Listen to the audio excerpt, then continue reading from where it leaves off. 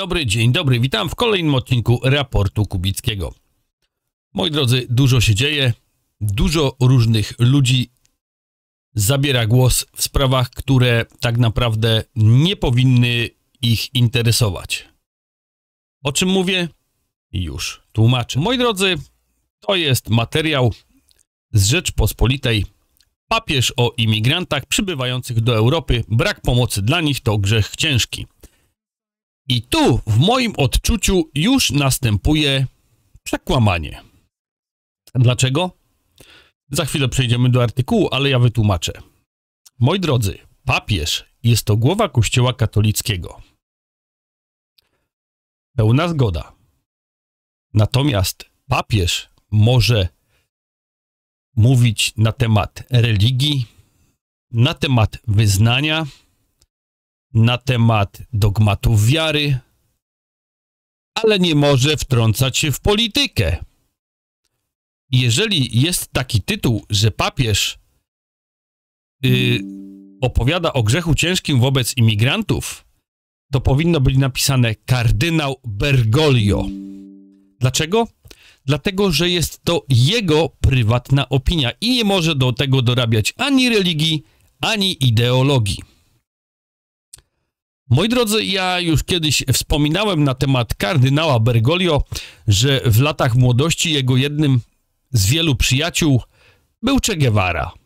No, wiecie, zasłużyć sobie, żeby twoim przyjacielem był Che Guevara, no to ja już nawet tego nie chcę komentować. Natomiast to, co robi w tej chwili Bergoglio, nie ma nic wspólnego z religią, nie ma nic wspólnego z kościołem, nie ma nic wspólnego z wiarą. I dorabianie tutaj przez niego jakiejś ideologii, dorabianie do niego jakiejś doktryny nie ma sensu, bo katolicy doskonale wiedzą, że Bergoglio tak naprawdę jest w obecnej chwili heretykiem, bo wszystko to, co robi, nie ma nic wspólnego z religią katolicką. Materiał oczywiście podlinkuję, tylko jest pytanie, po co on to powiedział. Moi drodzy, bardzo proste. Dlatego, że społeczeństwa katolickie są społeczeństwami konserwatywnymi. I społeczeństwa konserwatywne pewnych rzeczy po prostu nie akceptują. Jego wypowiedź będzie teraz służyła po to, żeby jakieś lewackie, powiedzmy, środowiska mogły powiedzieć: Wy, katolicy, się buntujecie, a wasz papież powiedział to. Nie. To nie powiedział papież, to powiedział Bergoglio. I Bergoglio ma prawo do powiedzenia swojej opinii, do wyrażania swoich opinii, ale papież, jako głowa Kościoła katolickiego, już takiego prawa nie ma. On może mówić o religii, on może mówić o, o doktrynach wiary, może mówić o mm, Ewangeliach, ale nie może wtrącać się w politykę. Takie jest moje zdanie i taka jest moja subiektywna opinia. Was proszę o komentarz i powiedzcie, co wy o tym myślicie. Pokazać. Otóż na waszych ekranach w tej chwili Giorgia Meloni. Giorgia Meloni, czyli premier Włoch, wzywa wszystkich do zatapiania statków z emigrantami. Cytuję: No proszę, ryzykujemy, że staniemy się europejskim obozem dla uchodźców. Ryzykujemy, że staniemy się pośmiewiskiem całego świata. Już się z nas śmieją na całym świecie. Potrzebujemy blokady morskiej Libii i zacznijmy topić statki organizacji pozarządowych. To powiedziała Giorgia Meloni. Powiem szczerze, pani premier, pełna zgoda.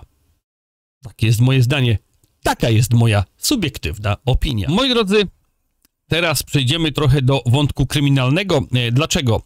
Niejednokrotnie e, powtarzałem wam, że łowcy pedofili robią dobrą robotę. Jednocześnie e, tutaj spotykałem się na różnych forach z komentarzami, że Yy, oni nie działają, bo ci pedofile z powrotem robią to, co robili.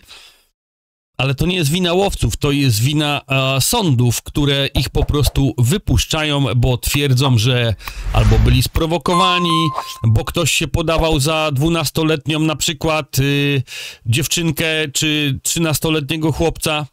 No, ja wam chciałem coś pokazać, jak działa policja południowej Walii. I teraz będzie szok dla niektórych. Przetłumaczyłem oczywiście ten artykuł. Moi drodzy, pedofil skazany na dożywocie po przyznaniu się do 160 odrażających przestępstw seksualnych wobec dzieci w internecie i szantażu. Ja wam to przeczytam. Mężczyzna z Bridgend, to jest miejscowość w Walii, został skazany na dożywocie z minimalnym okresem 12 lat za 160 przestępstw, seksualnych wobec dzieci w wyniku dochodzenia przeprowadzonego przez zespół śledczy online Policji Południowej Walii. Dochodzenie rozpoczęło się w grudniu 2022 roku, gdy policja otrzymała informacje o podejrzanych transakcjach bankowych i aktywności online związanym z pobieraniem nieprzyzwoitych zdjęć dzieci z darknetu. Moi drodzy, gościu działał w internecie. To są przestępstwa internetowe. Adres IP powiązano z adresem w dzielnicy Bridgend, a dalsze kontrole pozwoliły zidentyfikować przestępcę. I teraz słuchajcie, tutaj nie ma czegoś takiego, że Stefan P. i tak dalej. Nie, tu się jedzie z grubej rury, tak jak powinno to być, żeby już nie byli jak to się mówi, anonimowi. Zidentyfikowany przestępca to 23-letni Louis Edwards, czynny policjant kolejnych dniach pod jego adresem w Bridgend wykonano nakaz aresztowania. W lutym 2023 został aresztowany i tymczasowo, i tymczasowo aresztowany. Edward został natychmiast zawieszony w obowiązkach i musiał zrezygnować z pracy. Odbyło się przyspieszone przesłuchanie w sprawie wykroczenia, które wydało sankcję zwolnienia. Został wpisany na listę osób wykluczonych, co uniemożliwiło mu, uniemożliwił powrót do pracy w policji. Edwardsowi postawiono łącznie 160 zarzutów, w tym nakłanianie dzieci do tworzenia nieprzyzwoitych zdjęć w internecie i do angażowania się w aktywność seksualną. Przyznał się do wszystkich zarzutów i został skazany na dożywocie z minimalnym okresem 12 lat, gdyby stawił się w Cardiff Crown Court. I tu jest teraz wypowiedź detektywa naczelnika Tracy Rankina, szef zespołu dochodzeniowo-śledczego policji. Naszym priorytetem było zidentyfikowanie ofiar na podstawie nazw użytkowników Snapchata i współpraca z policją Wielkiej Brytanii, aby zapewnić im ochronę i wsparcie. Skala i powaga przestępstw zidentyfikowanych w wyniku naszego dochodzenia są ekstremalne. Jego odrażające zachowanie obejmowało grożenie i szantażowanie młodych ofiar, które żyły w strachu. Nasze dochodzenie obejmowało badania kryminalistyczne zaszyfrowanego sprzętu komputerowego i urządzeń mobilnych, co doprowadziło do odzyskania szokujących materiałów.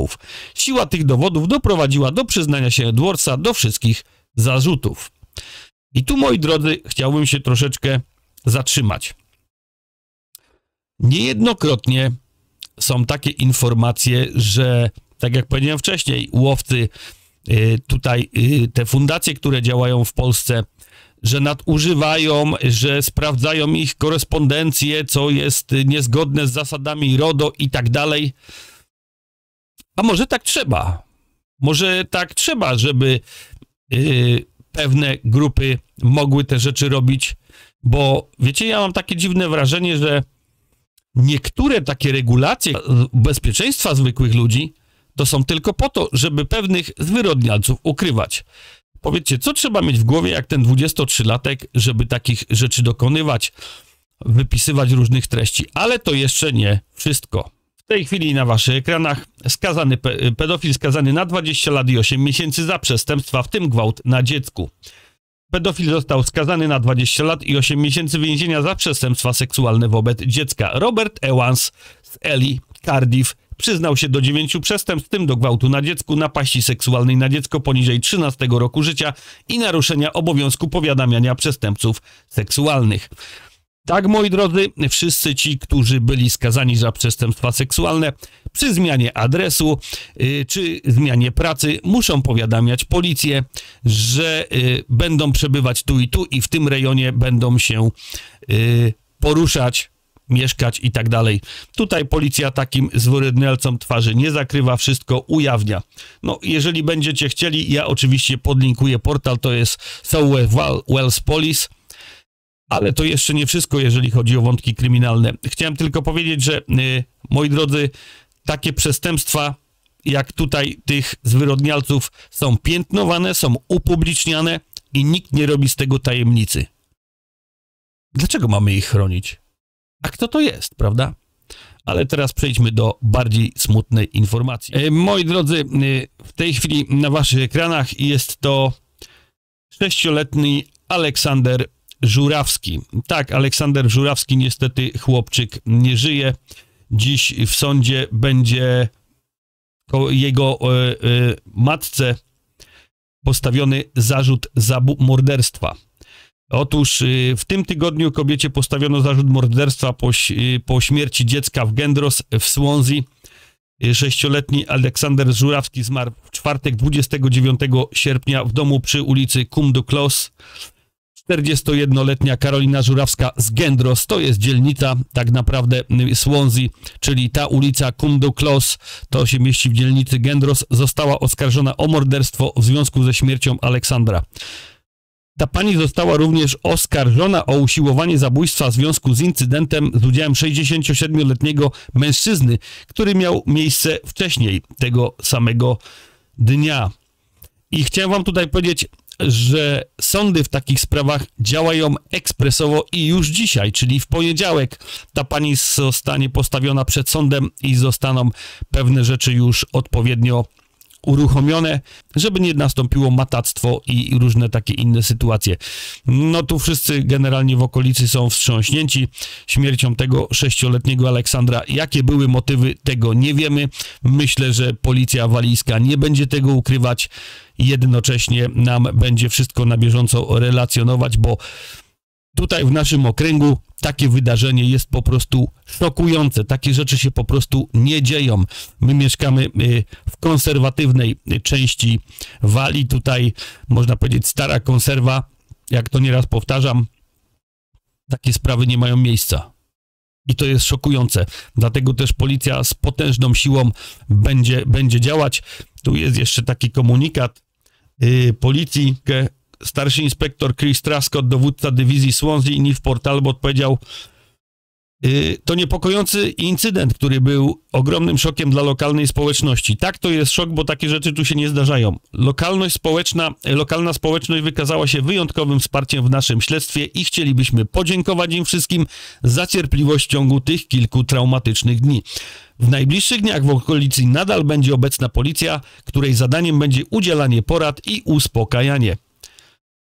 No cóż, moi drodzy, tak to tutaj e, działa policja. Jeżeli są takie sytuacje, to kilka tygodni jeszcze na danym miejscu przebywa policja, wyjaśnia, co było, jak było, żeby rozgonić plotki, żeby pewne rzeczy po prostu nie nabierały swojego, swojego tempa.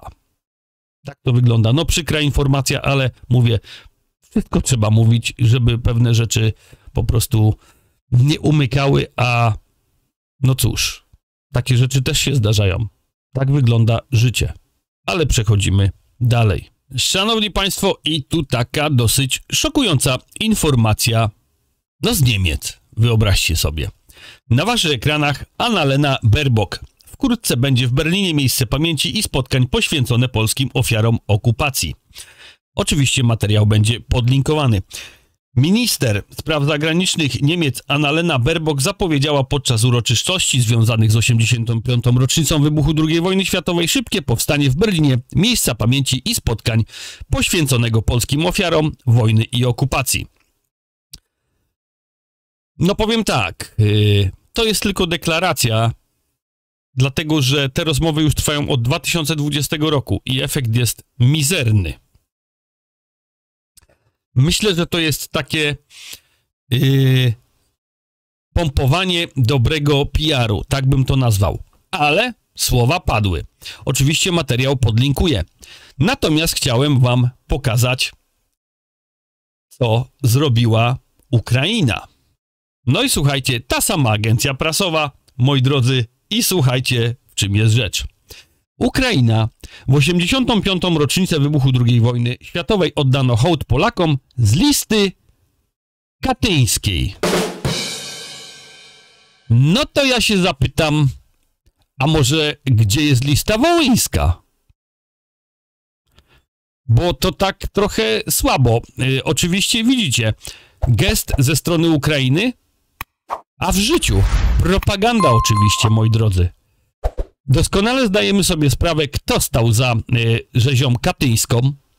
że to było NKWD, a NKWD to było mm, pod nadzorem ludzi, którzy, y, jak to się mówi, y, wyznania handlowego, noszą pejsy i tak dalej. Wiemy w czym rzecz. No nie mogę tego słowa na YouTubie powiedzieć, bo zaraz film spadnie, doskonale zdajecie sobie sprawę.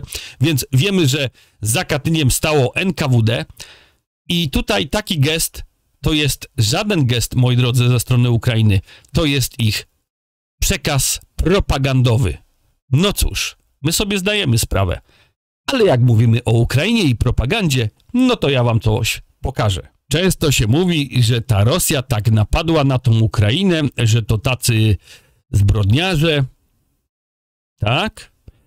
Y, to jest, y, tak jak tutaj jest y, napisane u góry, plakat wyborczy partii Swoboda z 2014 roku. Rosja powinna stać się cmentarzem. A teraz opowiedz mi o niesprowokowanej agresji. I tutaj jest Juri Liewczenko. Rosja maje stati cintariem. Razem do pieriemogi. Partia Swoboda. Coś więcej komentować? Moi drodzy. I teraz, jak to się ma do tych ich pustych hołdów? No każdy widzi, że to propaganda banderowska. Szanowni moi, ja mówiłem we wczorajszym materiale na temat tego, że Ukraińcy zestrzelili za pomocą Patriota pierwszego F-16. Tam zginął również ten ukraiński pilot dwudziestokilkoletni, który przez dwa lata był szkolony w Stanach Zjednoczonych. Otóż w tej chwili na waszych ekranach minister obrony Ukrainy Umerow, ten po lewej, jakby ktoś nie wiedział, ten z tymi y, bardzo semickimi rysami twarzy, przybył do Pentagonu, aby prosić o jeszcze więcej broni, a tak naprawdę y, przyjechał złożyć wyjaśnienia, w jaki to sposób y, amerykański F-16 został strącony patriotem. Powiem szczerze, w spojrzeniu tego Umerowa na wielkiego pana jest tyle miłości, uwielbienia i gorącego uczucia na to wszystko, że można, powiem szczerze, steki smażyć. Oczywiście taki żart z mojej strony, ale nie wiedziałem, jak to tak naprawdę ugryźć. No bo spójrzcie jeszcze raz. No po prostu, no już nie wiem, jak to, jak to skomentować, ale wiecie, co mam na myśli, prawda? W każdym razie chodzi o to, że Umerow pojechał tłumaczyć się, co się stało, że się... No właśnie. Tutaj, moi drodzy, taki temat wiążący i Europę, i NATO. Na waszych ekranach Jens Stoltenberg który stwierdził, że mm, atak Ukrainy na obwód kurski w Rosji jest legalny. Stwierdził on również, że Kijów nie omawiał wcześniej swoich planów ofensywnych z NATO. Powiem szczerze, mm, wiarygodność tego chłopa to jest po prostu jak wiarygodność czy Stonogi, czy Tuska. Panie Stoltenberg, nie wiem, czy pan wie, ale y, Brytyjczycy się wysprzęglili, że pomagali, wspierali i oni planowali y, ten y, najazd na Kursk. Także, mm, panie Stoltenberg, proponuję, weź pan leki albo idź pan na emeryturę z dziećmi na ryby, czy co tam pan lubisz i już. Może dzieci pan nie bierz, no tak, no bo to tak różnie z wami tam bywa w tych elitach. Tak, moi drodzy, Stoltenberg stwierdził, że mm, to, to jest legalne, bo nikt z nikim nic nie uzgodniał, nie uzgadniał. Oczywiście to poszło w Die Welt, czyli w takiej dosyć popularnej, popularnym medium, przepraszam. I chodzi o to, żeby uspokoić opinię publiczną. Jednocześnie mam wrażenie, chodzi o to, żeby odciąć się do, od Ukrainy. Czemu? Nie wiem. Pewno, na pewno, pewnie, jasne. Zobaczymy, czas pokaże, czas pokaże. Moi drodzy, chciałem wam pokazać materiał o tym, że Ukraina to jest stan umysłu. Już wczoraj wam pokazywałem tą szeptuchę, teraz wam pokażę lepszy numer i to grubszy kaliber. Na waszych ekranach y, ta pani, która tam w tych okularach ładnie się prezentuje, to jest y, minister gospodarki Ukrainy Julia Sfiridienko. Oświadczyła ona, że y, Stany Zjednoczone przeznaczą Ukrainie 800 milionów dolarów na odbudowę infrastruktury energetycznej. Oczywiście według niej władze ukraińskie przesłały także do Waszyngtonu listę sprzętu niezbędnego do odbudowy sektora energetycznego. Problem polega na tym, że Stany Zjednoczone nic takiego nie obiecały. No, szanowni państwo, propaganda i robienie ludziom sieczki w głowie trwa w najlepsze. Trzeba takie rzeczy pokazywać, trzeba że takie rzeczy udostępniać. Bo prawda jest taka, że w tej chwili robią idiotów z Ukraińców, za chwilę będą robić z Polaków. Co już się dzieje. Czemu? Moi szanowni, wspominałem wczoraj, jak również na live'ach, wspominaliśmy yy, na temat II wojny światowej i tak dalej. Teraz ta narracja jest pompowana również. Ja chciałem wam kogoś tutaj pokazać. Na waszych ekranach jest to Ignacy Mościcki. Ja coś zacytuję.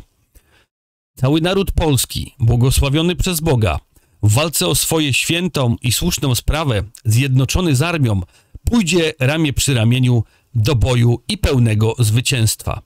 To jest z odezwy prezydenta Rzeczpospolitej Polskiej Ignacego Mościckiego z 1 września 1939 roku. No i wiecie, y, jak to pan Mościcki poszedł do zwycięstwa? Ano tak, że razem ekipą, z ekipą 17 września uciekli do Rumunii, gdzie zostali oczywiście internowani, a naród zostawili. Taka sytuacja. Jak myślicie, czy obecni politycy, na czele z takim feldmarszałkiem Kotłownią, który będzie Putina wgniatał w ziemię, gdyby przyszło co do czego, będą stali ramię w ramię z narodem? Oczywiście, że nie, bo to są tylko słowa, moi drodzy, to są tylko słowa. Moi drodzy, jeżeli dochodzą takie informacje, jak dochodzą, to wiecie, że coś się dzieje. W tej chwili na waszych ekranach jest to nomen omen nie kto inny, tylko Emmanuel Macron. Po co ja wam go pokazuję? I teraz będzie sztos. Lewicowa partia, niezwyciężona Francja, rozpoczęła postępowanie w sprawie impeachmentu Emmanuela Macrona. Tak, moi drodzy, ja tego nie wymyślam. O tym poinformowała szefowa tej partii Matylda Panu. Cytuję. Projekt uchwały o przystąpieniu do procedury impeachmentu prezydenta zgodnie z artykułem 68 Konstytucji został dziś przesłany parlamentarzystom do wspólnego podpisu. Tak napisała na, na portalu społecznościowym X. Moi drodzy, no to jak to jest? Lewica przeciwko Macronowi? Oczywiście, że tak. Bo można być lewicowym, można być prawicowym, można być centroprawicą albo całkowicie bez poglądów. Ale jeżeli widzicie, że waszym krajem rządzi oszołom, to trzeba coś z tym zrobić. Szanowni, nieraz prosiłem was, żebyście sobie spojrzeli na stronę sejmową. Chciałem wam tutaj coś pokazać. Głosowanie numer 68 na 16 posiedzeniu Sejmu dnia 26 lipca 20, 2024, godzina 18.10. Punkt 40. Sprawozdanie Komisji o poselskim projekcie uchwały w sprawie uczczenia 119. rocznicy stracenia Stefana Okrzei. Druk numer 568-572. Głosowanie nad całością projektu. Przeciw. No cóż. Było 15 z Konfederacji, wstrzymał się z Konfederacji jeden, dwóch nie głosowało, reszta tak naprawdę była za. Ale o czym ja, po co ja to mówię? Moi drodzy, kto to był Stefan Okrzeja? Stefan Okrzeja, Marcin Kasprzak, byli to mm, rewolucjoniści z PPS-u. Mówiąc krótko, komuniści. Czyli co? Polskim Sejmie jest y, głosowanie nad uczczeniem, uczczeniem ich pamięci i ja wiem, że ci komuniści walczyli y, z caratem. Ja wiem, że oni walczyli z zaborcami.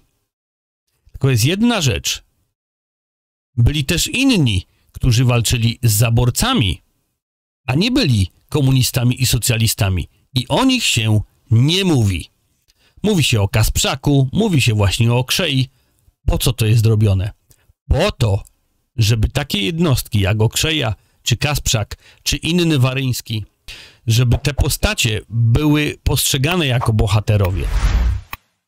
I moi drodzy, Sejm nie pracuje nad poważnymi rzeczami, tak naprawdę w obecnej chwili, tylko nad tak zwanymi głupotami, bo dla mnie osobiście jest to głupota. Bo idąc tym tropem myślenia, powiem szczerze, niebawem będą upamiętniać śmierć Bandery. Takie jest moje zdanie, taka jest moja subiektywna opinia. Moi drodzy, tak to wszystko w dzisiejszym odcinku, ale żeby nie było tak smutno, oczywiście suchar. Pewien człowiek złapał złotą rybkę i mówi życzenie. Chcę umrzeć w demokratycznej i dobrze zarządzanej i sprawiedliwej Polsce, gdzie politycy nie będą kraść, a ludzie będą mądrze głosować. Rybka tak patrzy, czyli co? Chcesz być nieśmiertelny? Tak, moi drodzy, i tym dowcipem chciałbym zakończyć dzisiejszy odcinek. Komu się podobało standardowo, proszę o kciuka. Pamiętajcie o subskrypcji i o dzwoneczku. Oczywiście materiałów nie zabraknie, więc zapraszam na jutro. Trzymajcie się. Hej!